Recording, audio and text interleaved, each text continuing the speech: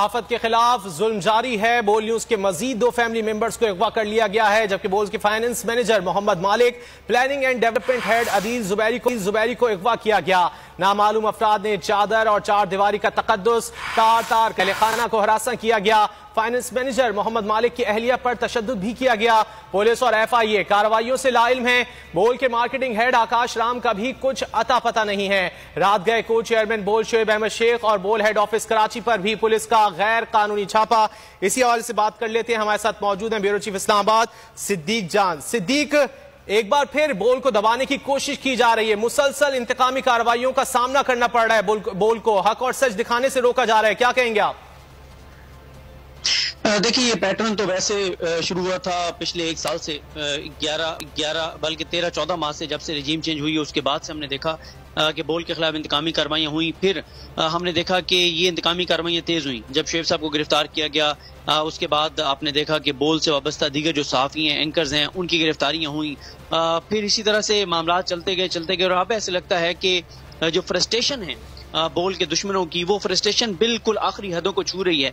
क्योंकि अब आप देखेंगे, पहले शुएब साहब के घर को गिराया गया उसके बाद फिर उससे पहले बल्कि आकाश नाम को अगवा किया गया बोल शुएब साहब के घर को गिराया गया। फिर अब आप देखें कि बोल के मजीद दो फैमिली मेंबर्स को अगवा कर लिया गया।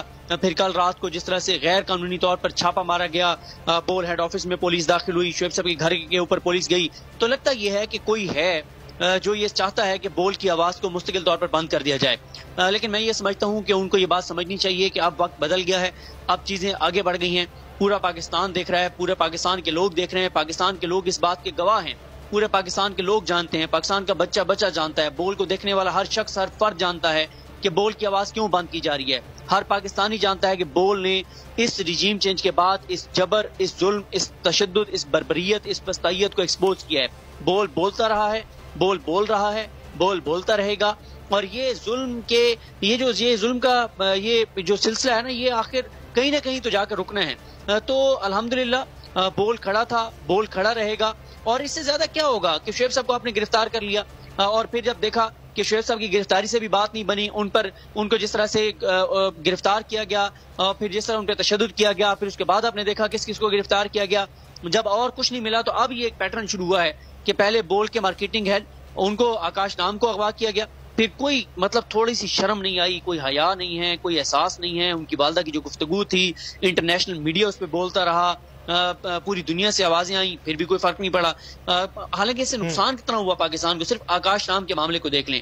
तीन तरह के नुकसान सबसे पहले तो ये मैसेज गया कि पाकिस्तान के अंदर आइन और कानून नाम की हद तक हैं। आइन और कानून मअतल हैं इंसानी हकूक मअतल हैं। यहाँ पर अदालतें बेवकत हैं बेअसर हैं कोई पूछने वाला नहीं है। अदालतों का हमने रुख किया कोई सुनवाई नहीं हुई। उसके बाद दूसरा क्या आपने मैसेज दिया? वो ये मैसेज दिया कि जो बाहर की दुनिया ने लिया खासतौर पर इंडिया ने जिसको प्रोपिगेट किया कि क्योंकि आकाश नाम जो है वो हिंदू थे तो इसलिए उनके साथ ये किया गया। ये एक नेगेटिव पाकिस्तान के इमेज हम्म। गया।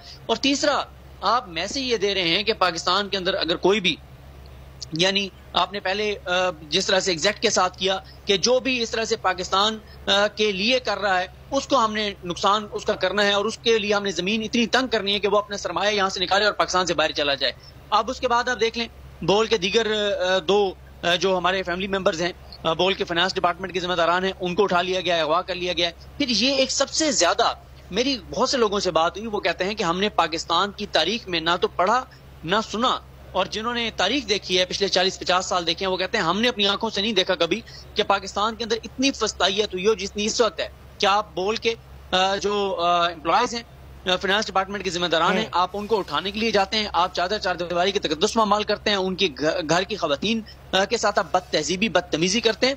तो ये एक नई चीज़ें पाकिस्तान में हो रही हैं आप, आप एक लबी, आप एक तवील अरसे से जो है वो सहाफत कर रहे हैं। क्या कभी आपने देखा कि किसी चैनल को इस तरह जदोकोब किया गया बिल्कुल ऐसी कोई मिसाल नहीं मिलती, बिल्कुल ऐसी कोई मिसाल नहीं मिलती जिस तरह से बोल के साथ किया जा रहा है। कि आप देखें ना कि मुसलसल बोल के जो एंकर्स हैं उनके खिलाफ क्या हो रहा है? और ये नहीं है कि हम कोई ये कह रहे हो कि ये हो सकता है या ये करना चाहते हैं। नहीं, हुआ है हमारे साथ। समी इब्राहिम साहब के साथ क्या हुआ? इमरान रियाज खान साहब के साथ क्या हुआ? अभी भी इमरान रियाज खान साहब जो है, वो इस वक्त देख लें। ओवरऑल अगर आप मीडिया की बात करें, फिर इसी तरह से आप देखें जमील फारूकी के साथ क्या हुआ? मुझे जो है वो गिरफ़्तार किया गया। इसके अलावा अभी भी बोल के जितने भी एंकर्स हैं, उनको थ्रेट है कि उनके पीछे लगे हुए हैं। फिर इसी तरह से आप देखें कि फाइनेंस डिपार्टमेंट के लोगों को मार्केटिंग के लोगों को शुएब साहब के घर तो इससे मुझे सिर्फ़ यही समझ आती है कि मसला यह है कि बोल की आवाज़ को मुस्तकिल बंद करना है, जो कि नहीं हो सकेगा। ये नहीं कर सकेंगे। वक्त बदल गया है, दौर बदल गया है, और सबसे बड़ी बात यह है कि पाकिस्तान के लोग जाग रहे हैं, पाकिस्तान के लोग देख रहे हैं। आप अभी जाएँ असल मसला क्या है? तकलीफ़ क्या है? परेशानी क्या है? परेशानी और तकलीफ़ ये है कि आज बोल का लोगो लेकर कोई शख्स कोई फर्द आवाम में चला जाए हम्म। लोग भागते हुए बोल के लोगों को देख के और माइक को देख के आते हैं। लोग चूमते हैं बोल की डीएसएनजी को लोग चूमते हैं बोल के माइक को। ये मोहब्बत है लोगों की बोल के साथ ये एतमाद है लोगों का बोल के साथ। फिर बोल रेटिंग में जितने आप पैमाने उठा के देख लें सबके सामने बोल रेटिंग में कहाँ पे खड़ा है? बोल बोलता रहा बोलता बिल्कुल बोल आवाम के दिल की आवाज़ बन चुका है लेकिन उसे जदोकोब करने का सिलसिला जो है वो जारी है। इंतकामी कार्रवाइयाँ की जा रही है। सिद्दीक बहुत शुक्रिया आपका। सब्सक्राइब करें और बेल दबाएँ ताकि कोई खबर रह न जाए।